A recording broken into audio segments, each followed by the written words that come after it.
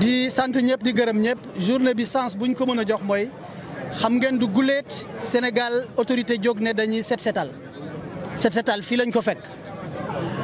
waaye li nga xam ne moom la ñu bëgg a sumb mu muniroo lu ñu wax rupture systémique mooy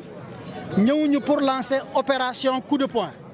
mi nga xam ne da ngay ñëw nga jël journaliste yi ñu laaj la nga wax nga jéem a jël quelques pelles nga ñibbi dëkk bi tilimaat loolu du taxuñoo jóg taxul jóg le président de la république taxul jóg le premier ministre. lu tax ñu yebal ministre bu neex nga dem si sa gox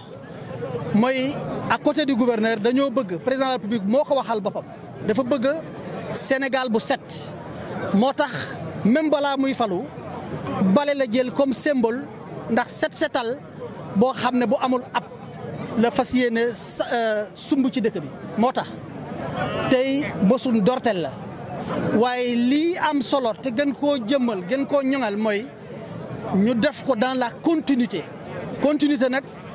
defe naa set moo gën bale bañ a tilimal moo gën bale ñi ciy ñaax ñëpp moo tax ñu defee ko fii ki nga xam ne mooy Euh, lancé ko fii ci gare routière de Ziguinchor bi nga xam ne Sénégal Ziguinchor ñëpp a fi daje gan ku fi dëkk ak ku fi liggéey pour ñu góorgóorlu bu baax a baax a baax a baax continuité bi am continuité bi ñaar a ko sekk ña ca njëkk mooy autorité yi dënk nañ ko gouverneur ñuy am mbégte lool. tey gouverneur nu mu mobiliser tous les services l'armée nationale les corps paramilitaires bu ko jëlee ci sapeur jëlee ko ci eaux et forêt ñëpp a fi nekk ak surtout waa Sonaged waa LONASE ñu ngi fii rax ci dolli mu lëkkaloo ko ak élus territoriaux conseil départemental ak surtout la mairie de Ziguinchor mairie de Ziguinchor nag ku ko wax ku ko xam xamal ko ci setal Ziguinchor ndax def na ci at yu weesu yi loo xam ne ñun ñëpp naw nañ ko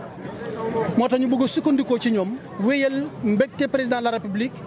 pour ñu mën a setal dëkk bi ba pare ñun ñu njëkk a set suñu bopp pour dëkk bi bañ a tilimaat